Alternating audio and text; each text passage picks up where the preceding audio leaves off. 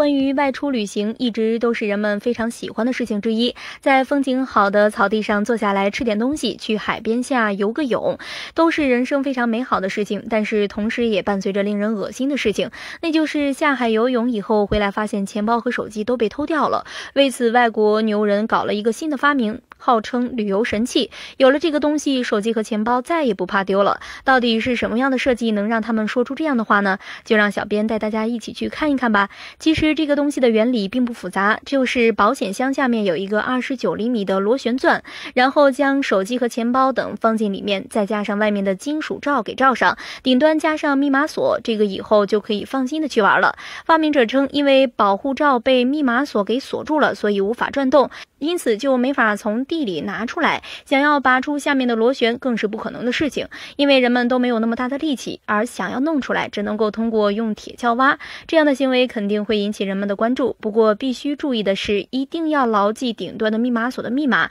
有网友表示，真的是旅游神器。关于这个东西，大家是怎么看待的呢？